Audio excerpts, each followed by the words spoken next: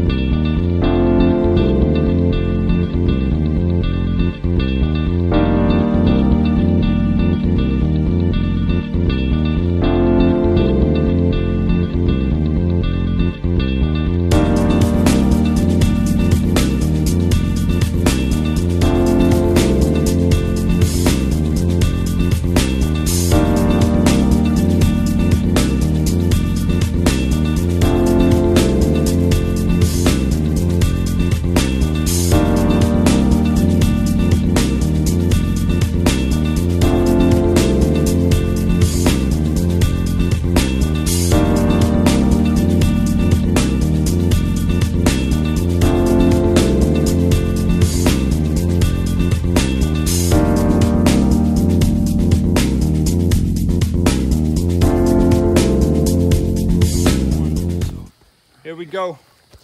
Using the three and a half ton Michelin floor jack. Look at there. Oh yeah. Ginger, what is it doing?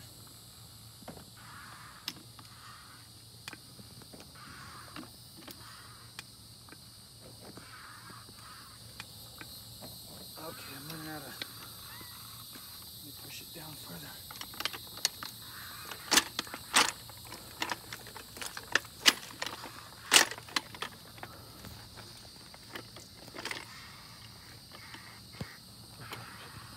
Sorry about that.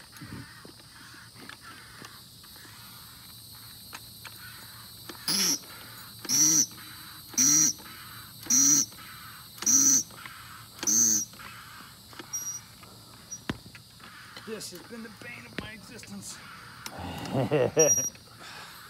for years. Ah, listen to that. See that victory. It's coming on, man. It's running out of fluid. Yeah. Got to let it down, get a new grip. Oh yeah. Yeah. We dig a hole. Oh, All right. red or Just hit the button again.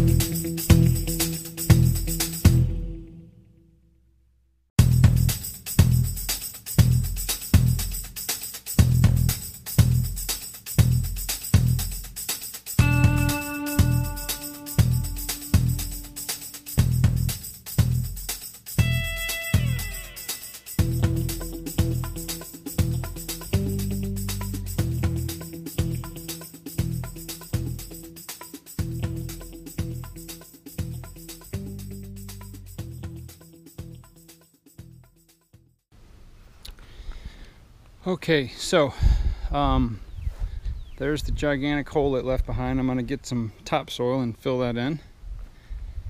And then the reason that I was, um, this thing I'm estimating weighs probably about 300 pounds, maybe 350. And I'm trying to get a lot of the mud off of it for two reasons. Number one, it'll make it easier to move. And number two, uh, I need to cut this up in probably about four or five pieces and uh, if I leave the dirt in there it will ruin the chainsaw blade when I cut it up so. But this thing is uh it's just massive. And this is a white crepe myrtle stump so. Anyway I'll uh, I'll let you guys see the uh, final result after I get everything done and you probably don't want to see any more time lapse of this. But anyway looks a lot better clean this up and we'll be good to go. All right, I wanted to show you guys real quick. It's starting to rain, but I went ahead and put, that's almost half a cubic yard of topsoil. And now we're just gonna get the grass to grow.